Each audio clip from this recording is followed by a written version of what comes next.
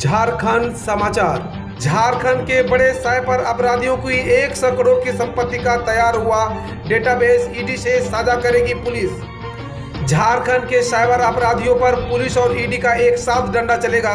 Jharkhand police ने cyber अपराधियों का डेटाबेस तैयार किया है। सरकारी स्कूल के शिक्षकों को कम से कम रोज 20 छात्रों को पढ़ाने का टास्क मिला है। इसमें से 10 छात्रों को ऑनलाइन और 10 छात्रों को ऑफलाइन पढ़ाना होगा। डिजिटल कंटेंट और ऑनलाइन भेजने के बाद भी 10 छात्रों से फ़ोन कर उनकी समस्या के बारे में पूछना और उसका निराकरण करना।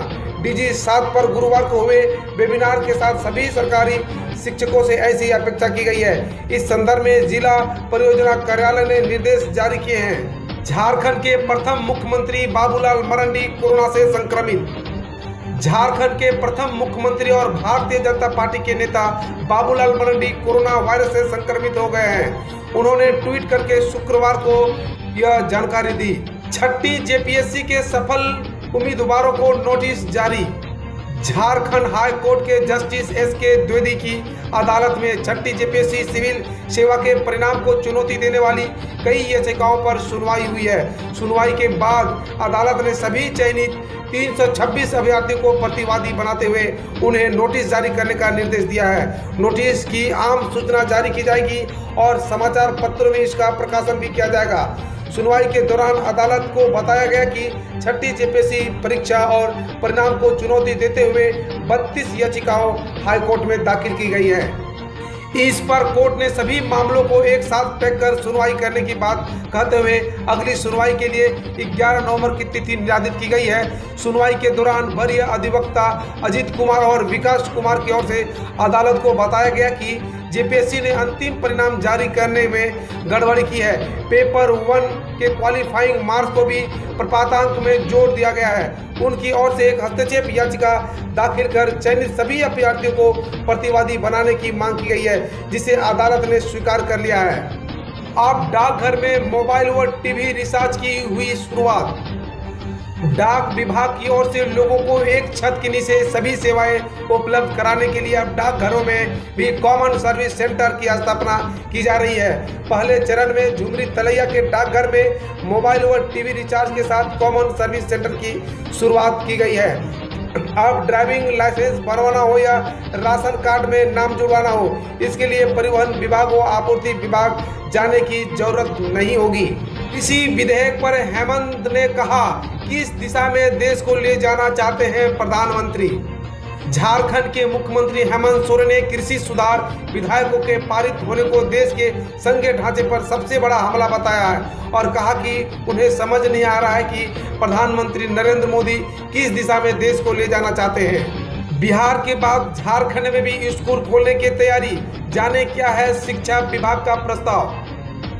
बिहार के बाद अब झारखंड में भी स्कूल खोलने की तैयारी सरकार की ओर से शुरू हो गई है। प्रारंभ में क्लास नौ से लेकर बारहवीं तक के बच्चों को सीमित संख्या में कंसल्टेशन के लिए स्कूल जाने के लिए विचार किया जा रहा है। हालाँकि निजी स्कूल ने कोरोना वैक्सीन आने तक स्कूल नहीं खोलने की अपील की है। झारखंड में कोरोना संक्रमण के गिरते ग्राफ को देखते हुए राज्य सरकार स्कूलों को खोलने पर विचार कर रही है। शिक्षा विभाग के द्वारा तैयार प्रस्ताव के अनुसार स्कूलों में कोरोना से बचाव के लिए सारे प्रबंध भी किए जाएँगे और बच्चों को गार्जियन की अनुमति पर स्कूल जाने की अनुमति दी जाएगी। शिक्षा विभाग के इस प्रस्ताव पर सरकार विचार कर रही है। तीन आईएएस पदाधिकारियों का बदला प्रभार। विनय कुमार चौबे को मिली नई ज़िम्मेदारी।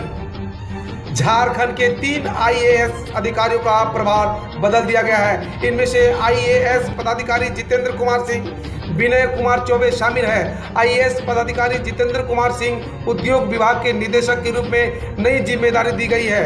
पूर्व में वे इसी पद पर प्रभार में थे। इसके अलावा जितेंद्र कुमार सिंह के पास उच्च शिक्षा विभाग का भी प्रभार था, जिससे उनको मुक्त कर दिया गया है। इसके अलावा विनय कुमार चौबे को ग्रेटर रांची की भी ज़िम्मेदारी दी गई है। प्रधानमंत्री नरेंद्र मोदी बोले, किसानों से हमेशा झूठ बोलने वाले कुछ लोग उनके कंधों पर रखकर बंदूक चला रहे हैं। कृषि विधेयकों के खिलाफ किसानों के भारत बंद के बीच प्रधानमंत्री नरेंद्र मोदी शुक्रवार को कहा, किसानों से हमेशा झूठ बोलने वाले कुछ लोग उनके कंधों पर रखकर बंदूक चला रहे हैं। भ्रमित करने में लगे हैं, उन्होंने कहा, किसानों को कृषि सुधारों की बारीकियाँ समझाएँ? किसान लूटने वाले व धोखेबाजों से खुद को बचा सके? कश्मीर के अनंतनाग में पिछले दिन शुरू हुई मुठभेड़ में लश्कर ए तैयबा के दो आतंकी ढेर। जम्मू कश्मीर के अनंतनाग में गुरुवार शाम को शुरू हुई मुठभेड़ में सुरक्षा बलों ने लश्कर ए तैयबा के दो आतंकवादियों को मार गिराया है। पुलिस ने बताया कि हथियार व गोला बारूद आदि बरामद किए गए हैं और तलाशी अभियान जारी है। इससे पहले तराल में गुरुवार को एक आतंकवादी मारा गया और बडगाम में आतंकी हमले में सीआरपीएफ जवान शहीद हो गया था। राहुल गांधी बोले, गलत जीएसटी ने लघु उद्योग नष्ट कर दिए। अब कृषि कानून किसानों को गुलाम बनाएँगे। कांग्रेस नेता राहुल गांधी ने शुक्रवार को ट्वीट किया, एक गलत जीएसटी ने सूक्ष्म लघु एवं माध्यम उद्योगों को नष्ट कर दिया। अब नए कृषि कानून हमारे किसानों को गुलाम बनाएँगे। इससे पहले राहुल गांधी ने कहा था, मोदी सरकार की प्राथमिकताएँ, किसानों और मजदूरों से बात करके उनकी समस्याओं का समाधान निकालने के बजाय प्यार में लगे हैं। बारूदी सुरंगों को पता लगाने वाले चूहे को ब्रिटेन में मिला स्वर्ण पदक खबर सुन के आपको बड़ा ही अटपटा और अतरंग लगेगा। तो चलिए आइए डालते हैं खबर पर थोड़ी प्रकाश। ब्रिटेन की वेटनरी चैरिटी करने वाली संस्था पीडीएसए ने एक अफ्रीकी चूहे मेघवा को बहादुरी और कर्तव्य के प्रति समर्पण को लेकर स्वर्ण पदक से सम्मानित किया है।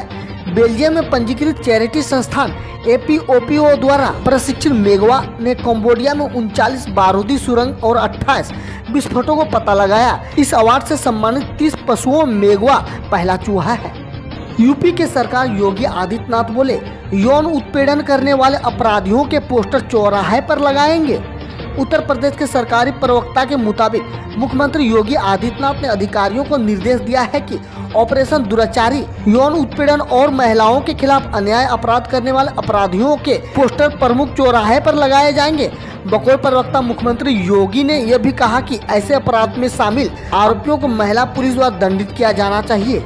बंगाल की मुख्यमंत्री ममता बनर्जी बोली, हम कोरोना वायरस को लॉकडाउन में रखेंगे और इस साल दुर्गा पूजा आयोजित करेंगे। पश्चिम बंगाल की मुख्यमंत्री ममता बनर्जी ने आगामी दुर्गा पूजा के लिए गुरुवार को दिशा निर्देश की घोषणा की और कहा कि इस साल सरकार कोरोना वायरस को लॉकडाउन में रखेगी और पूजा आयोजित करेगी।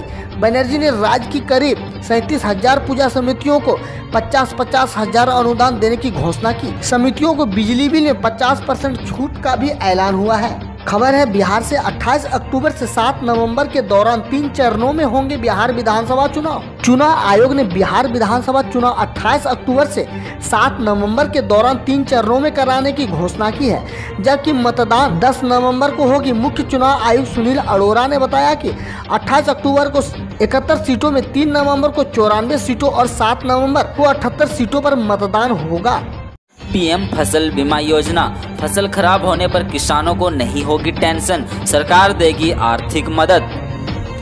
अक्सर ज़्यादा बारिश होने या सूखा पड़ने जैसी प्राकृतिक आपदाओं के चलते फ़सलों को बहुत नुकसान होता है, जिसका खामियाजा किसानों को भरना पड़ता है। उनकी लागत न निकलने के साथ उन्हें कृषि के लिए लिए गए लोन की अदायगी की टेंशन रहती। इसी समस्या को दूर करने के लिए सरकार की ओर से पीएम फ़सल बीमा योजना चलाई जा रही है, जिसके तहत अब फ़सलों का बीमा होगा, जिसमें किसी तरह का नुकसान पर सरकार किसानों को आर्थिक मदद देगी। तो क्या है यह योजना और कैसे ले सकते हैं इसका लाभ? तो आइए जानते हैं। प्रधानमंत्री फ़सल बीमा योजना के तहत प्राकृतिक आपदा, कीड़े और रोग की वजह से फ़सलों को नुकसान पहुँचाने की स्थिति में किसानों को बीमा कवर और वित्तीय सहायता दी जाएगी। इसमें सरकार की ओर से अधिसूचित फ़सल में से किसी भी नुकसान पर धनराशि मिलेगी। इस स्कीम का मकसद किसानों को कृषि की आधुनिक पद्धतियों को अपनाने के लिए प्रोत्साहित करना और उन्हें आसानी से कृषि क्षेत्र में ऋण दिलाना है।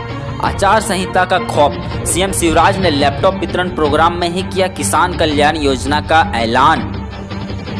आचार संहिता का खौफ सीएम शिवराज ने लैपटॉप वितरण प्रोग्राम में ही किसान कल्याण योजना का ऐलान किया। कार्यक्रम प्रतिभावन स्टूडेंट को लैपटॉप वितरण का था, लेकिन सीएम साहब हड़बड़ी में इसमें किसानों से जुड़ी अहम घोषणा कर दी। मध्य प्रदेश सरकार मुख्यमंत्री शिवराज सिंह चौहान ने किसान कल्याण योजना के तहत किसानों को हर साल चार हज़ार रुपये देगी। प्रधानमंत्री मत्स्य संपदा योजना के तहत मछुआरों की आय दोगुनी करने का लक्ष्य प्रधानमंत्री मत्स्य संपदा योजना 2020-21 से मछुआरों व मत्स्य पालकों की आय को दोगुना करने और रोज़गार सृजित करने का लक्ष्य तय किया गया है। योजना के माध्यम से उन्हें सामाजिक व आर्थिक जोखिम से सुरक्षा प्रदान की जाएगी। सामान्य वर्ग के लाभार्थियों को कुल लागत 40 प्रतिशत, धनराशि तक अनुसूचित जाति, जनजाति के लाभार्थियों को कुल लागत 60 प्रतिशत, धनराशि अनुदान के रूप में शासन की ओर से प्रदान की जाएगी। यह धनराशि डीबीटीएल के माध्यम से लाभार्थियों के खाते में सीधे हस्तांतरित की जाएगी। गांधी जयंती को बनाए रोज़गार दिवस, खूब दे ऋण अनजान उत्तर प्रदेश खादी तथा प्रौद्योगिकी बोर्ड के उपाध्यक्ष राम गोपाल उर्फ़ गोपाल अंजान ने गुरुवार को मंडलीय समीक्षा करके रोज़गार और प्रौद्योगिकी के लिए ऋण वितरण और प्रशिक्षण कार्यक्रम लेट लतीफे पर नाराज़गी जताई। उन्होंने कहा कि आधिकारिक ज़्यादा से ज़्यादा लोगों को रोज़गार और ग्रामोद्योग के लिए ऋण उपलब्ध कराए। गांधी जयंती को रोज़गार दिवस बनाए। इस दौरान उन्होंने जहाँ माटी कला के पंद्रह लाभार्थियों को निशुल्क विद्युत चलित चालक प्रदान किया, महिलाओं के कौशल विकास प्रशिक्षण के समापन पर उन्होंने प्रमाण पत्र वितरित किए तथा काम और रोज़गार प्रदान करने वाली तीन इकाइयों को प्रोत्साहन राशि के चेक प्रदान किए। अगले महीने से नई ट्रेन चलाने की तैयारी में रेलवे, त्योहारों पर घर जाना होगा आसान, बिहार का खास ध्यान। क्या आप झारखंड, बिहार के निवासी हैं? काम के सिलसिले किसी दूसरे राज्य में निवास करते हैं और पर पर अपने घर आना चाहते हैं तो यह खबर आपके लिए खास है। जी हाँ भारतीय रेल कोरोना काल में सभी स्वास्थ्य प्रोटोकॉल को ध्यान में रखते हुए चलाई जा रही ट्रेनों की संख्या में अगले माह और बढ़ोतरी करने की योजना पर काम कर रही है। जानकारी के अनुसार त्यौहार के दौरान अक्टूबर और नवंबर की संभावित यात्री को देखते हुए व्यवस्थापन रूटों पर लगभग 80 नई ट्रेनें चलाने जा रही है।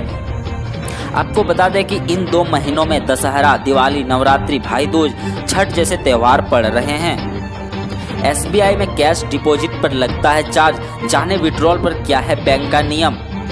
स्टेट बैंक ऑफ़ इंडिया कई सुविधाओं के लिए ग्राहकों से चार्ज वसूला देखते हैं। ग्राहकों को इनके बारे में कम ही जानकारी होती है। एसबीआई कैश डिपॉजिट से लेकर कैश विड्रॉल पर ग्राहकों से कुछ पैसे लेते हैं। देश का सबसे बड़ा सरकारी बैंक ग्राहकों से एक तय लिमिट के बाद कैश डिपॉजिट और विड्रॉल पर चार्ज वसूलता है।